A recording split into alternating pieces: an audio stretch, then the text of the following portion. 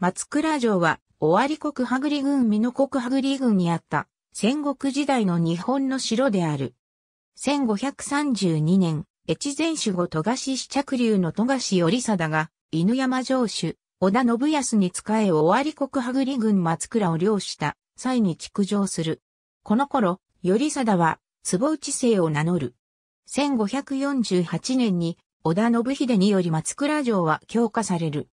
頼貞の彦の坪内俊貞は、織田信長に仕え、信長による美濃国稲葉山城攻略のため八須賀、正勝ら各地の有力者の協力を取り付けに奔走。難航するが、木下東吉郎の手助けによって成功した。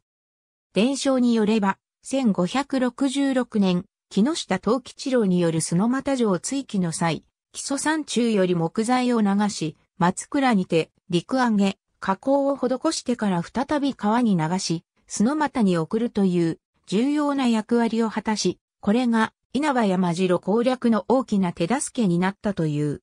信長の死後、坪内俊貞は、橋場秀吉と不和となり、1584年の小牧、長久手の戦いでは、徳川家康側につく。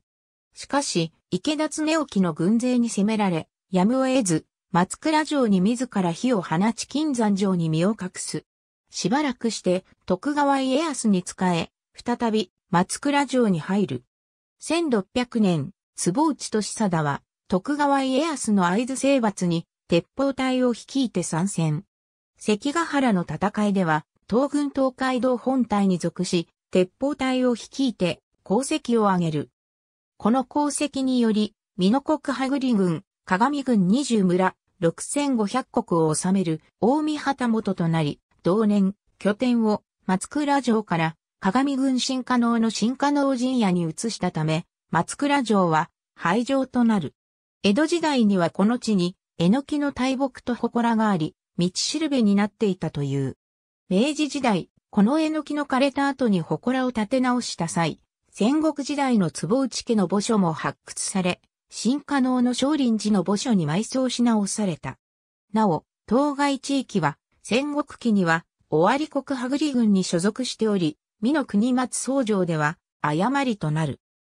綿密には、当該地域が尾張国から美の国になったのは、安土桃山時代の1585年であり、坪内家が関ヶ原の戦いの後に松倉から新加納に拠点を移したことで廃城になったと考えると、尾張国、美濃国両方の時代があったと考えてもよい。松倉城案内版松倉城跡の歌詞、大見は近辺の川筋の変化。ありがとうございます。